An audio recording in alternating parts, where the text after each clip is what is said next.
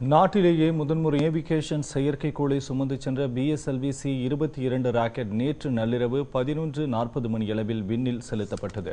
இந்திய விண்வெளி ஆராய்ச்சி நிறுவனம் தரைவழி நீர்வழி மற்றும் வான்வழி பயணங்களுக்கு உதவும் வகையில் முதல் முறையாக நேவிகேஷன் எனப்படும் வழிகாட்டி செயற்கைக்கோளை அமைத்துள்ளது.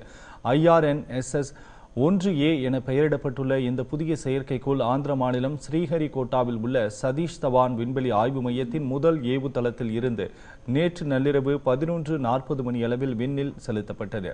விண்ணில் ஏவப்பட்ட இந்த செயற்கைக்கோள் வெற்றிகரமாக அதன் சுற்றுவட்ட பாதையில் செயல்பட தொடங்கியுள்ளது. இதனால் இஸ்ரோ விஞ்ஞானிகள் மகிழ்ச்சி அடைந்துள்ளனர்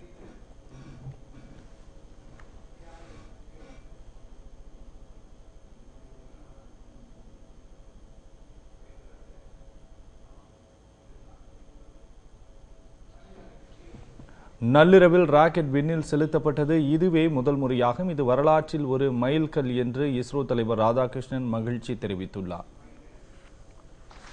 So I take this opportunity to thank all of you, everyone in the country, everyone in ISRO, for the encouragement, the support that you have given, and the faith that you have reposed in us.